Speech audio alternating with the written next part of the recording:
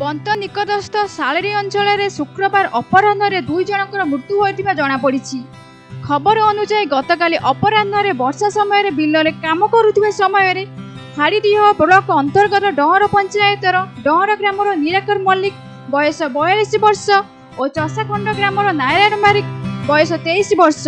ବଜ୍ରାଘାତ ସଂସ୍ପର୍ଶରେ ଆସି ତଳେ ପଡ଼ିଯାଇଥିଲେ।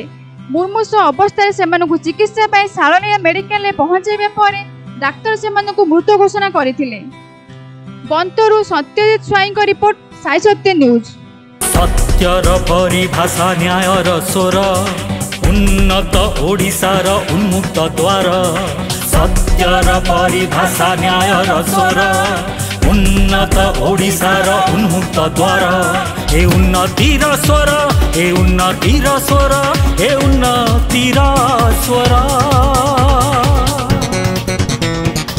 साई सत्य न्यूज साई सत्य न्यूज साई सत्य न्यूज।